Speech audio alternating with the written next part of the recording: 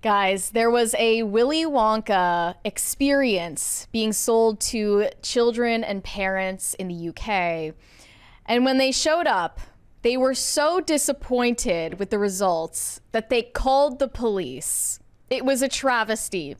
Police were called to an immersive Willy Wonka experience after families arrived to an empty warehouse. The uh, event allegedly charged $40 for entry, featured an AI art advertisement, and claimed the event is a journey filled with wondrous creations and enchanting surprises at every turn. Here is uh, here's the AI image right here. Let's look at this image. Doesn't quite live up to the expectations. What this looks like is people getting lured into a warehouse Oh, to yeah. get trafficked Yes. and then brought to their chocolatey death. They charged $45 for this. This looks like something out of Saw. Kids were all dressed up, crying, waiting for what they thought was going to be a magical experience. And that, this is what they got. Th- this was what they got. It's just an empty warehouse with this like pitiful fold out table that has plastic Yes. cups with orange juice in it. Um, It's it's giving Fyre Fest. It's giving Fyre Fest. It's giving DashCon. If any any of you know what that is. I love the garbage bag that's just on the floor next to it. Um, and then I'm And then this this one Oompa Loompa this poor lady. made our day. She just looks so utterly dejected, just so thoroughly empty inside. Like she hates her life. Maybe she loves it. Maybe I'm judging too too harshly. that uh, she could. She, for all we know, they caught a bad picture of her, and she actually loves her job. But uh, I'm just saying that. Who is this woman and what is her story? Yes, I need to know. But it's not just that. You also pointed out that there's something hinky going on with the company running this. Yeah, so I did a little bit of research. I went to the Willy Wonka Chocolate Experience website and found out that their organizer is something called House of Illuminati. The company is literally called House of Illuminati. They're the event organizer.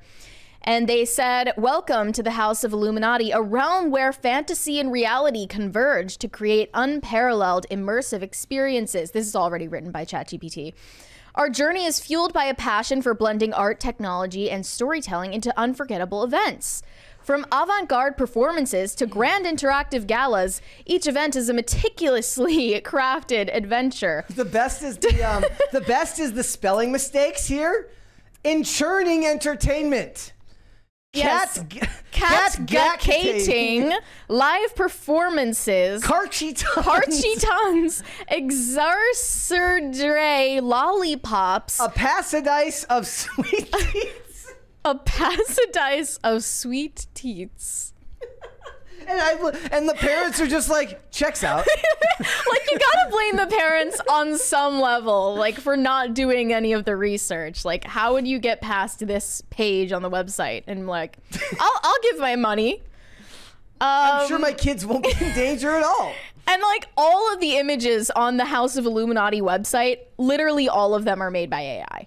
Yes. So there's no proof that they've actually ever put on a real event that is this spectacular.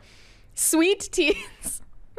Also, uh, how did they get the uh, copyright? It's they don't say Wonka. It just says Willy's. It just says Willy's. It's just supposed to evoke. Willy Oh, Wonka. okay. That's how they got away with it. Willy's chocolate experience. First of all, I'm not. You're not taking your kid to anything called Willy's chocolate experience. Just no. Just immediately no. Immediately no. So they showed up and it was just so bad. Like they, they just show up and it's so shitty that they're like, we need to report this to the police. Like, there's And the UK police don't have anything better to do, so they showed up. Yes, because they can't arrest anybody that actually commits Right. crimes. But uh, there's definitely some like fentanyl lollipops in there. What, what is this? Just like sh- shower curtains with stripes on them, With- with- hung with- on clothesline. Yep.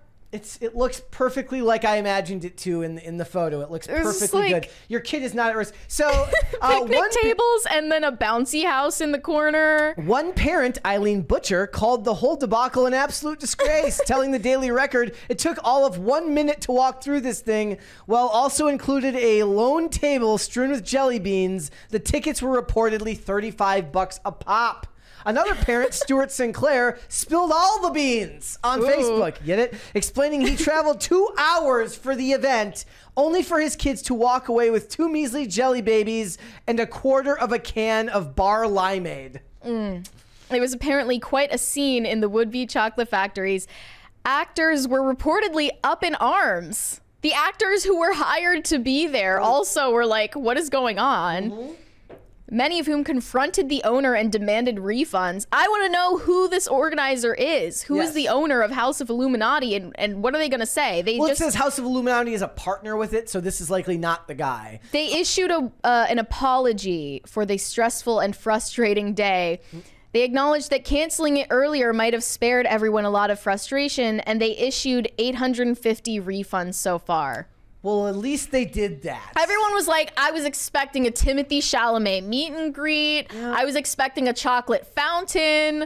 I mean, the lights, the action, all the production. Again, all you have to do is look at this photo, and then look at this photo. it's just so it's so bad. The Oompa Loompa though, like she's just the the cherry on top of a fantastic. That one is that one is really good right there. I love the bouncy house that's just in the back. There's Uh, just like dirty expired jelly beans If everywhere. If anything, what it does is it, it puts the job of an event organizer, like a party organizer, into perspective. Yeah. Just how much work actually goes into it. yeah, and if you guys don't remember, DashCon was this Tumblr convention.